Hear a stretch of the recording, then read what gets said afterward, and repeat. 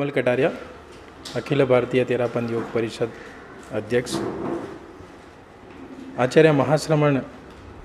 ಜಿಯವರು ಬ್ಯಾಂಗ್ಳೂರು ಚಾತುರ್ಮಾಸಕ್ಕೆ ಆಗಮಿಸಿದ್ದಾರೆ ಕುಂಬಲಗೂಡು ನಾಲ್ಕು ತಿಂಗಳು ಅವರು ಚಾತುರ್ಮಾಸಕ್ಕೆ ಇದ್ದಾರೆ ಹದಿಮೂರನೇ ತಾರೀಕು ಅವರು ಇಲ್ಲಿಂದ ವಾಪಸ್ ಹೊಡ್ತಾರೆ ನಲವತ್ತಾರು ಸಾವಿರ ಕಿಲೋಮೀಟರ್ ಪಾದಯಾತ್ರೆ ಮಾಡಿ ಅವರು ಬ್ಯಾಗಮ್ ಬ್ಯಾಂಗ್ಳೂರು ಆಗಮಿಸಿದ್ದಾರೆ ಅವರ ನೇತೃತ್ವದಲ್ಲಿ ಅಖಿಲ ಭಾರತೀಯ ತೀರಾಪಂದ್ ಯೋಗ ಪರಿಷತ್ ನಮ್ಮದು ಒಂದು ಯೂತ್ ವಿಂಗ್ ಇದೆ ಜೈನ್ ತೀರಾಪಂದ್ ಸೆಕ್ಟ್ ಅದು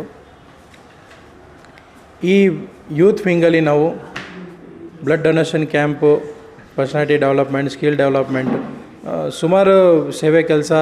ಜನಗಳಿಗೋಸ್ಕರ ಒಳ್ಳೆ ಕೆಲಸ ನಾವು ಮಾಡೋಕ್ಕೆ ಪ್ರಯತ್ನ ಮಾಡ್ತಾಯಿದ್ದೀವಿ ಅದರಲ್ಲಿನೇ ಆಚಾರ್ಯ ತುಳಸಿ ಡಯಾಗ್ನೋಸ್ಟಿಕ್ ಸೆಂಟರ್ ನಾವು ಎರಡು ಸಾವಿರದ ಹನ್ನೆರಡರಲ್ಲಿ ಬೆಂಗಳೂರಲ್ಲಿ ಶುರು ಮಾಡಿದ್ವಿ ಫಸ್ಟ್ ಡಯಾಗ್ನೋಸ್ಟಿಕ್ ಸೆಂಟರ್ ಆಲ್ ಇಂಡಿಯಾಲೀ ಈಗ ನಮ್ಮ ಐವತ್ತು ಡಯಾಗ್ನೋಸ್ಟಿಕ್ ಸೆಂಟರ್ ನಡೀತಾ ಇದೆ ನಲ್ವತ್ತೊಂಬತ್ತು ನಡೀತಾ ಇದೆ ಇದು ನಾಳೆ ಐವತ್ತನೇದು ನಾವು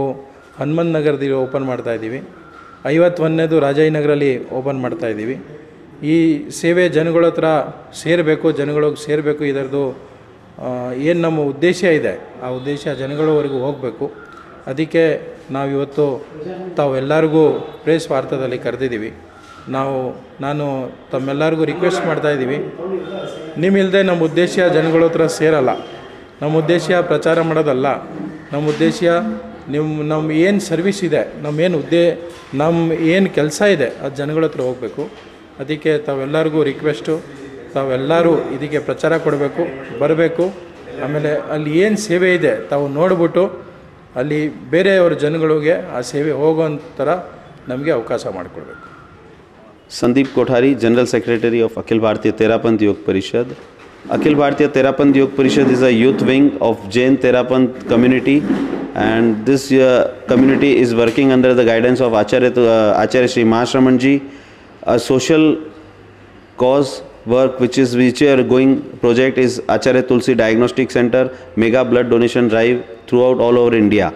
Acharya Tulsi Diagnostic Center currently we are having 49 centers and these centers are in metro cities and even in remote locations spread out over India. The main motto of Acharya Tulsi Diagnostic Center is to help out people reach to masses and help uh, to reduce their medical cost to reduce help them out in medical uh, uh, to give them best medical facilities uh, the first center was started in bangalore in 2012 tomorrow we are starting up our 50th diagnostic center at uh, HBST Bangalore and day after tomorrow we are uh, inaugurating 51st diagnostic center in this uh, uh in Rajajinagar Bangalore